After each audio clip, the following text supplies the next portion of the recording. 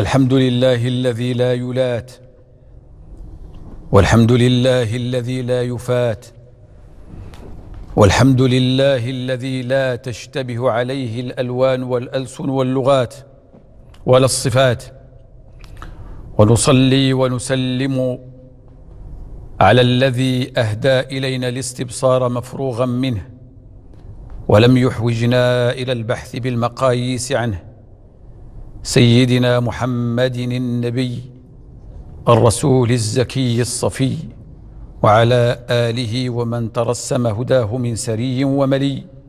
وبعد فقد وصلنا بفضل الله وحسن معونته إلى قول الإمام الشاطبي وجمع وتنوين وتحريك نعملا وقد شرحنا هذا فقلنا بأن التحريك للتذكير فقط بأن التحريك هو ضد للإسكان سواء جاء هذا التحريك مطلقا أم مقيدا.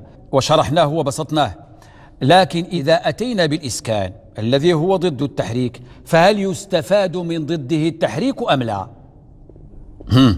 لأننا دائما نتكلم في الأضداد عن عن ماذا؟ عن الطرد والعكس. عن الطرد هل يطرد وينعكس أم يطرد ولا ولا ينعكس. إذا فاضطرد لنا بأن التحريك هو ضد للإسكان فهل ينعكس أم لا؟ إذا قلنا الإسكان فهل يستفاد منه الضد الذي هو التحريك أم لا؟ نعم يستفاد.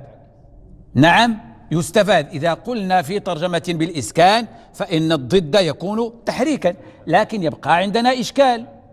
مم. ما الإشكال الذي سيبقى؟ لا نعلم أي الحركات أراد.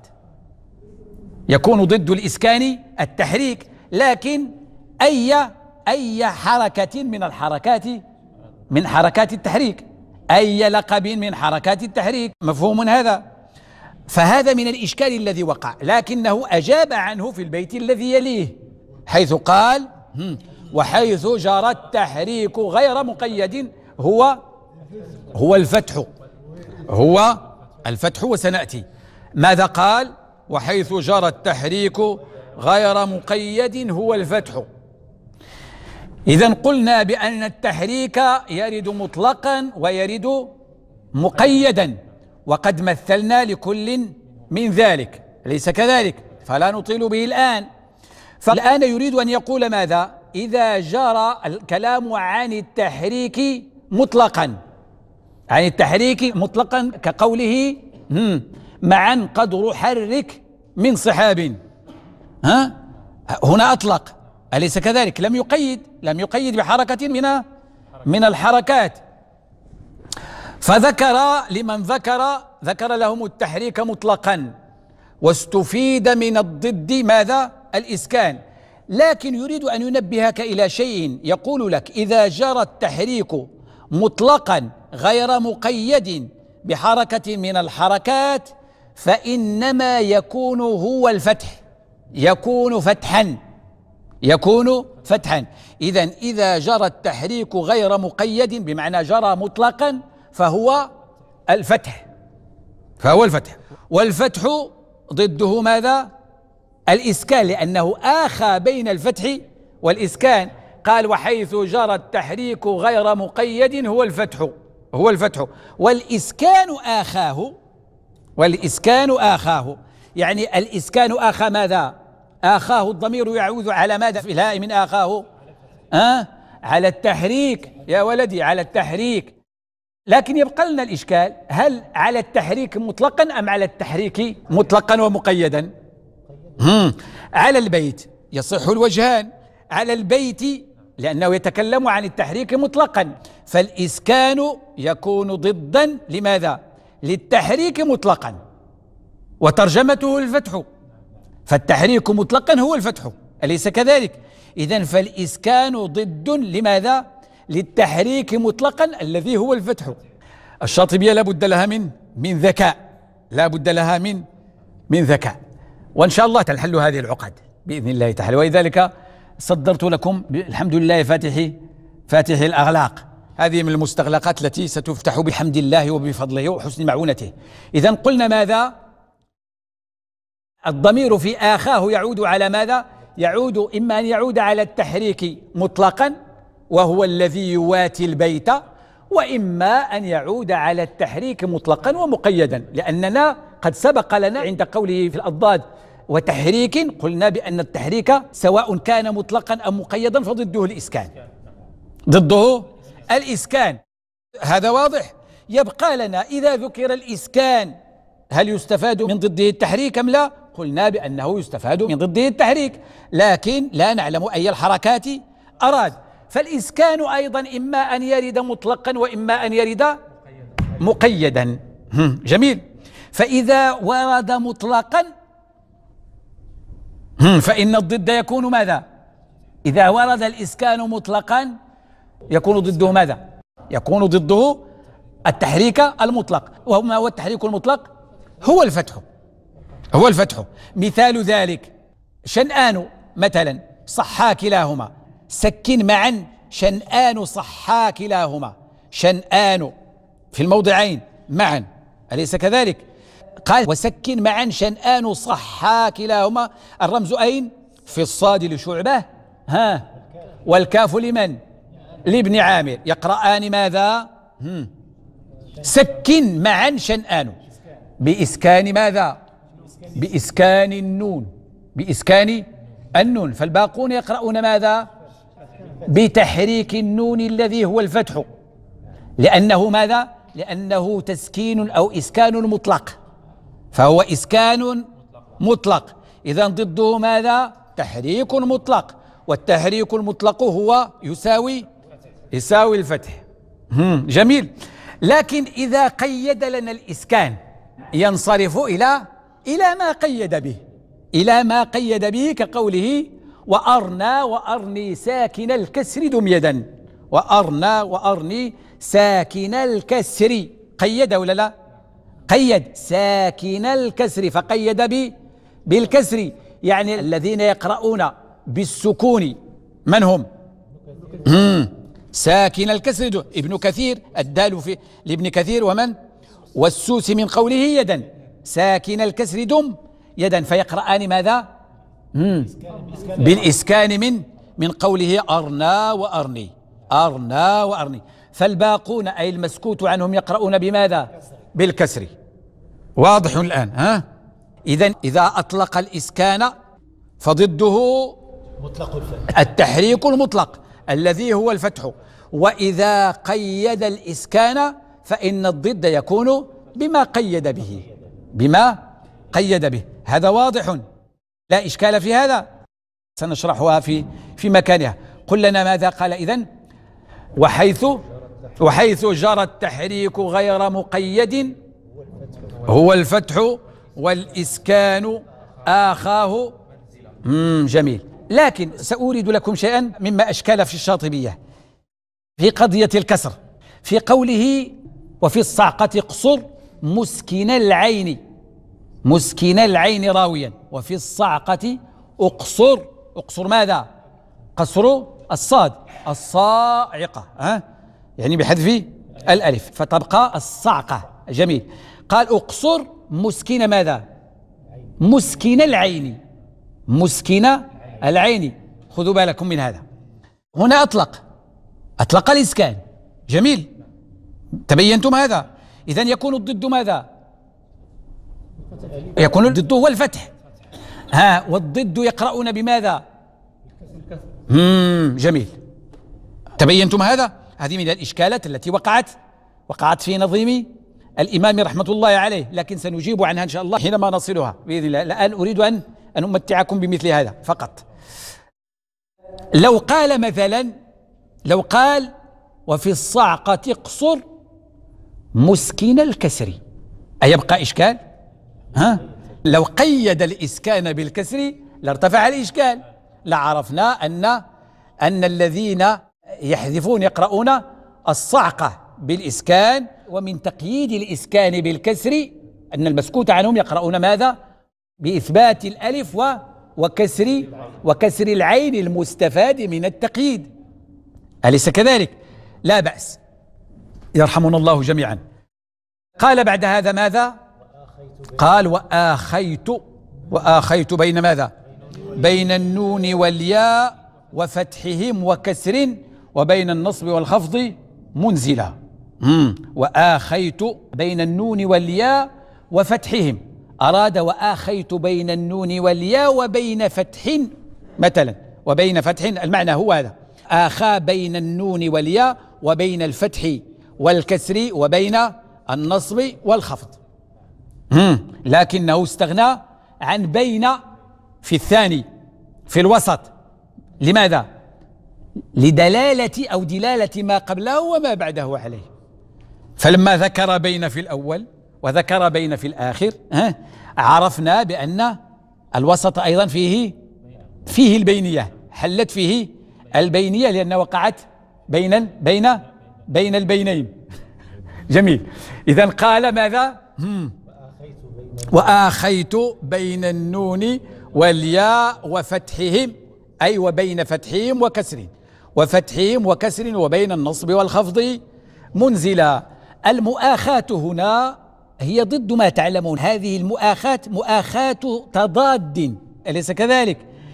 هذه الأشياء كثر دورها في القصيد فآخى بينها بمعنى أنه في هذه الستة الأشياء إذا ذكر منها شيء استغني به عن ذكر مضاده جميل. فإذا ذكر في ترجمة النون فإن المسكوت عنهم يقرؤون بالياء. وإذا ذكر في ترجمة ماذا؟ الفتح فإن المسكوت عنهم يقرؤون بماذا؟ يقرؤون بالكسر. وإذا ذكر في ترجمة النصب فإن المسكوت عنهم يقرؤون بماذا؟ يقرؤون بالخفض. ما مثال ذلك؟ بالمثال يتضح المقال نبدأ من الأول. وآخيت بين النون والياء. لكثرة قلنا لكثرة آه، لكثرة الدور في في القصيد. كقوله مثلا مثلا نعلمه بالياء نص أئمة. نعلمه تقرأ على على قراءتين نعلمه ويعلمه بالنون والياء. فذكر هنا ماذا؟ قال بالياء. بالياء لمن؟ للمرموز إليهم بنص أئمة. نص المحكي مقصود لفظه بنص أئمة. الرمز في الألف لنافع ها؟ نعم. نص أئمة في الألف لنافع والنون لعاصم. يقرآن ماذا؟ بالياء في يعلمه المسكوت عنهم يقرؤون بماذا؟ يقرؤون بالنون. واضح. ضده إذا ذكر مثلا النون. فالمسكوت عنهم يقرؤون بماذا؟ بالياء. مثال لذلك. وندخله نون. وندخله نون. مع طلاق في قوله نتمه وندخله نون مع طلاق ها وفوق مع نكفر نعذب معه في الفتح إذ كلا. نكمل هذا لكن سنريده في محله إن شاء الله كاملا. نريد هنا التدليل على على المراد فقط التنبيه فقط. قال وندخله نون المذكوران اللذان هم من؟ المرموز إليهما ب بالألف من قوله إذ الذي هو نافع والكاف من قوله كلا. نعم لابن عامر. جميل. يقرآن ماذا؟ يقرؤون بالنون. في ماذا؟ في ندخله. ها؟ نعم وندخله نون. هذا في سورة النساء. وندخله جنات وندخله نارا. وقال وندخله نون. نعم قال أيضا في الطلاق. أليس كذلك؟ ما الذي بالطلاق؟ ندخله أيضا جنات. نعم. وفوق. هم. تغاب أحسنت. ها؟ التغاب الذي هو فوق يضطره الوزن والنظم إلى ألا يذكر التغاب فقال فوق.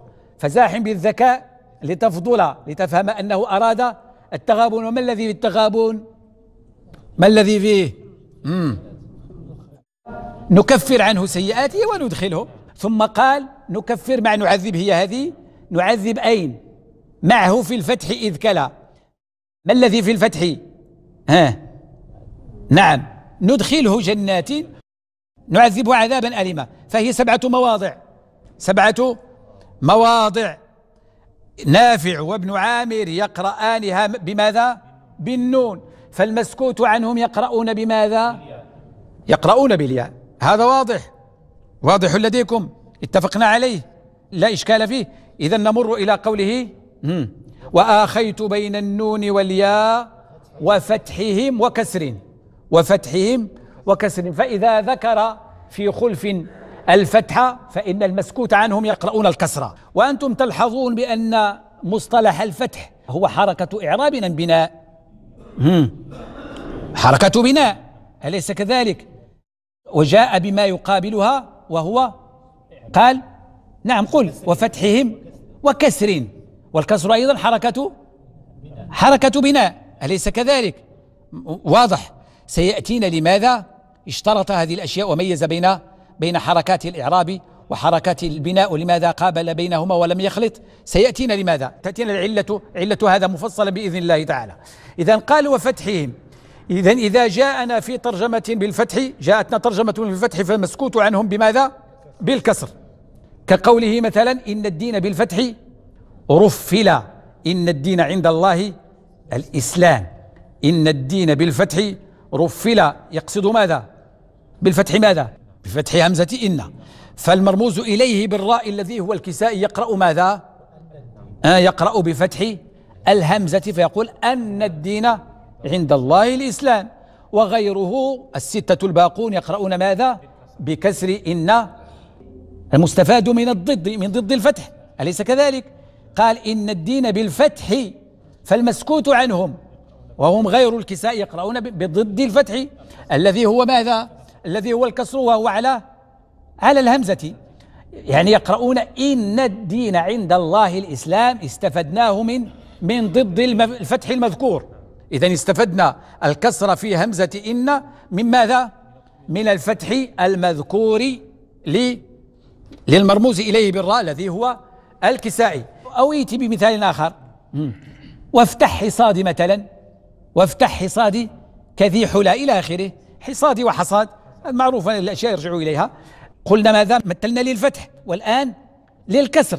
مثلا حق نصير كسر واو مسومين. كسر واو مسومين. ابن كثير وأبو عمرو والنون من نصير. الذي هو عاصم. يقرؤون ماذا؟ بكسر واو مسومين. إذا الباقون الذين سكت عنهم يقرؤون ماذا؟ بفتح من أين أخذنا الفتحة من ضد الكسر لأنه قال هو فتح وفتحهم وكسر فإذا ذكر الفتح فالمسكوت عنهم بالكسر وإذا ذكر الكسر فالمسكوت عنهم. لهم ماذا؟ لهم الفتح. واضح هذا؟ وفي قوله مثلا وبالكسر حج البيت مثلا عن شاهد. ولله على الناس حج البيت في الحاء. حج وحج حج البيت عن شاهد.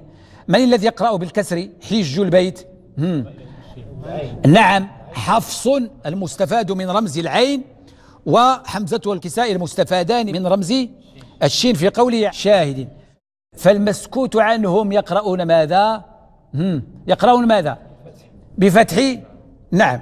وأيضا وفي محصنات للكساء في محصنات تكسير الصاد راويا. أليس كذلك؟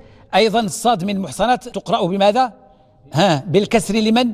للكساء فالمسكوت عنهم يقرؤون بماذا؟ يقرؤون بفتح الصاد. تبينتم هذه الأشياء؟ وفي المحصنات الأخرى في المعرفة هذه المنكرة والمعرفة. ها. وفي المحصنات اكسر له غير أولى حتى لا يفوتكم هذا. وفي المحصنات أي المعرف اكسر له أي الصاد أيضا غير الأول الذي هو رأس الحزب والمحصنات. هذا لا يقرأه إلا إلا بالفتح. اتفق مع مع الباقين ولا خلف فيه لا خلاف فيه. واضح هذا؟ إذا ننتقل إلى ماذا؟ وبين النصب والخفض. بين النصب والخفض. فائدة مثل هذه الأشياء أن يذكر التقابل بين حركات الإعراب وحركات البناء ويميز بينها لأنه قد نحتاجه في بعض الخلف. فلا ندري ما الذي يريد بحركة من الحركات لو أطلقها. لكن إذا قال بالكسر نعلم أنه يريد ماذا؟ حركة بناء. وإذا قال بالخفض مثلا يريد حركة حركة إعراب. فنميز الحركة من حيث كونها إعرابا أو بناء ونميز على أي حرف يجب أن تكون. كقوله مثلا في الوتر بالكسر شائع. مثلا لمن لحمزة والكسائي؟ الوتر أو الوتر يكتنفه شيئان. الواو فيه كسر أيضا وفتح والراء في الأخير فيها ماذا؟ فيها جر فيها جر. فلما قال بالكسر وسكت علمنا بأنه يريد ماذا؟ حركة البناء. وحركة البناء تكون على ماذا؟ علمنا بأنها على الواو. لأن الحركة تقتضي نعم هي حركة بناء ولا تكون إلا على الواو وننصرف عن شبهة أن تكون على الراء أنه يريد الراء. فهمتم؟ لما قال بالكسر علمنا أنه يريد الخلف. لما قال الكسر علمنا أنه يريد حركة البناء وهي على الواو فقط لا على الراء. فحددنا مكان الخلف والحرف الذي عليه الخلف وهو الواو. فمثلا حمزة والكساء يقرؤون بكسر الواو بكسر الواو والباقون يقرؤون يقرؤون ماذا؟ بفتح الواو. وانصرفنا عن شبهة أن ترد نعم. إذا لا بد أن نميز بين حركات الإعراب وحركات البناء. وفي قوله مثلا فك رفعا فك رقبة فك رفعا أين يوجد الرفع هنا؟ لا بد أن ينصرف إلى إلى الكاف لأنه حركة إعراب. حركة إعراب. فانصرفنا عن شبهة أن يريد على على الفاء. معروف هذا؟ قال وبعد اخفضا أيضا. فك رقبة بعد اخفضا. الخفض في رقبة يكون على ماذا؟ على على ماذا؟ في آخرها لأنه حركة حركة إعراب أيضا. فك رقبة فك رقبة. جيد. هذا فقط للمثال. نعم. إذا قلنا ماذا؟ وبين النصب والخفض. وبين النصب والخفض. إذا قال في أول البيت وآخيت بين النون والياء وفتحهم وكسر. ها؟ وكسر. جيد. ثم قال بعد هذا وبين النصب والخفض. إذا إذا ذكر في في خلف وفي ترجمة النصب فإن المسكوت عنهم لهم ماذا؟ ها؟ قال وبين النصب والخفض. إذا ذكر خلفا بالنصب فإن المسكوت عنهم يقرؤون بالخفض. استفيد من من شرطه. مثال ذلك مثال ذلك. وانصب بينكم. وانصب بينكم عم عم صندلة وانصب بينكم عم صندلة نأخذ الترجمة بكاملها من أول البيت حيث يقول مودة المرفوع حق رواته. ونونه وانصب بينكم عم صندلا. الإشكال أين؟ أين الخلف؟ مودة بينكم. كم فيها من قراءة؟ قال نمشي على ما أراد في في الترجمة قال مودة المرفوع. حق رواته. حق لمن؟ قلنا لابن كثير وأبي عمرو. والراء من رواته للكساء. يقرؤون ماذا؟ ها؟ مودة بالرفع. جيد. ثم قال ونونه. ننون ماذا؟ مودة. ننون مودة. وانصب. وانصب ماذا؟ وانصب بينكم. النصب يعود على يرجع إلى إلى ما بعده. الذي هو بينكم. لمن؟ عم. عم لمن؟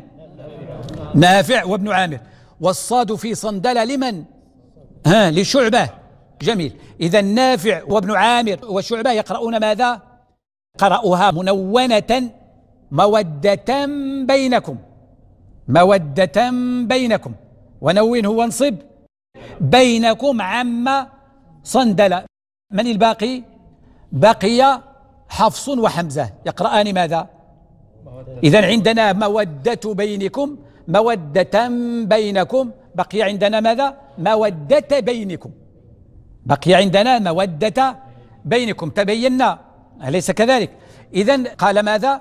وبين النصب والخفض. إذا إذا ذكر في ترجمة وفي خلف الخفض فإن المسكوت عنهم يقرؤون ماذا؟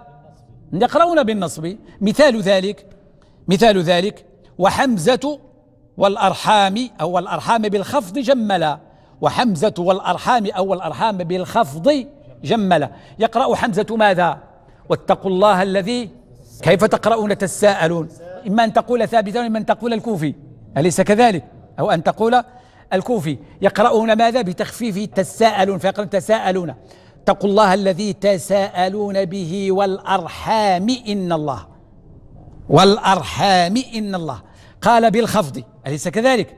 إذا حمزة والأرحام بالخفض جملا. لما ذكر الخفض لحمزة بقي المسكوت عنهم لهم ماذا؟ لهم ماذا؟ كيف عرفنا؟ لهم الضد لهم لأنه آخى بين ماذا؟ بين الخفض والنصب. فإذا ذكر النصب فالمسكوت عنهم لهم ماذا؟ وإذا ذكر الخفض فالمسكوت عنهم لهم ماذا؟ لهم النصب. واضح هذا؟ إذا لما قال وحمزة والأرحام أو الأرحام بالخفض جملا وسنأتي إلى معنى قوله جملا في الشرح إن شاء الله في مكانه لأنه خالف به جميع القراء وسيأتينا إن شاء الله في إعرابه. وهو مذهب جيد على الخفض على عدم إعادة العامل الذي هو الذي هو الجار. اتقوا الله الذي تساءلون به فلم يعيد الجار. مع أنه عطف على المجرور ولم يعيد. آه فجر ولم يعيد ولم يعيد العامل. كقوله فاذهب فما بك والأيام من عجب. والمعنى فاذهب فما بك وبالأيام. فهذا جائز عربية وهو صحيح مسند قراءة أيضا. إذا لما قال بالخفض فالمسكوت عنهم لهم ماذا؟ لهم النصب.